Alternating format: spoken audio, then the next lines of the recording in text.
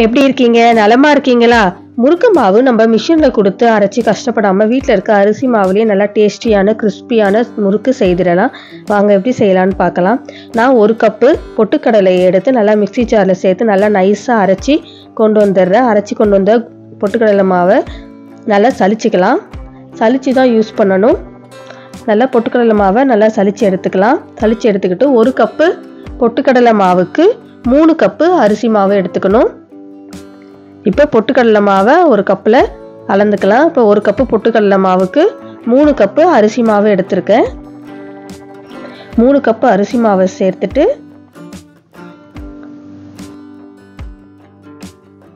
முறுக்குக்கு தேவையான உப்பு சேர்த்துட்டு ஓமம் ஒரு ஸ்பூன் சேர்த்துருக்கேன். நீங்கள் எள்ளு கூட சேர்த்துக்கலாம். ஓமம் சேர்த்துட்டு பெருங்காயத்தூள் சேர்த்து ஒரு தடவை நல்லா கலந்து விட்டுக்கலாம். இப்போ இது நான் ஒரு க்யூப் அளவுக்கு பட்டர் எடுத்திருக்கேன். பட்டரை உருக்கி கொண்டு வந்துடலாம். நீங்கள் நார்மலாக எண்ணெய் கூட சூடு பண்ணி சேர்த்துக்கலாம். நல்லா சூடான இப்போ பட்டரை சேர்த்து ஒரு தடவை நல்லா கலந்து விட்டுட்டு பட்டரை சேர்த்து நல்லா மாவோடு நல்லா கலந்து விட்டுக்கலாம். கலந்து விட்டுக்கிட்டு இப்போது தண்ணி ஊற்றி நல்லா மாவை பிசைஞ்சிக்கலாம். நம்ம நார்மல் வாட்டர் தான்.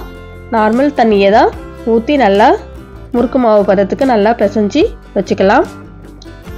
இதே மாதிரி ட்ரை பண்ணி பாருங்கள் ஈஸியாக செய்தெல்லாம் முறுக்கும் நல்லா டேஸ்டியாக இருக்கும். ஈஸியாக செய்திடலாம். பிகினர்ஸ் கூட முறுக்கு நம்ம ஈஸியாக செய்திடலாம்.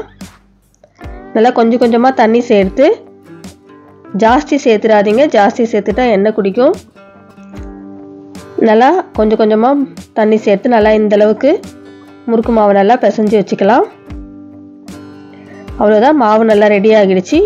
இப்போ ஒரு கடாயில் எண்ணெய் ஊற்றி நல்லா எண்ணெய் நல்லா சூடேறட்டும். எண்ணெய் நல்லா சூடேறதுக்குள்ளே நம்ம முறுக்கு பிழிஞ்சு வச்சுக்கலாம். நல்லா ஒரு அச்சு எடுத்துக்கிட்டு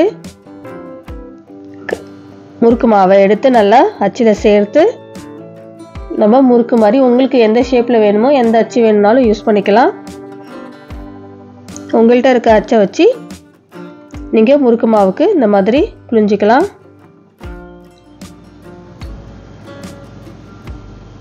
அவ்வளோதான் நல்ல ஒரு கரண்டியை திருப்பி வச்சு நான் அதில் முறுக்கு புரிஞ்சு வச்சுருக்கேன்.